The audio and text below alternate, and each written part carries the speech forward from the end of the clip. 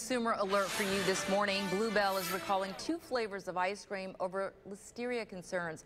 The company says out of an abundance of caution, a voluntary recall is in place for packages of chocolate chip cookie dough and cookie two-step. The company said some cookie dough from a third-party supplier could contain listeria.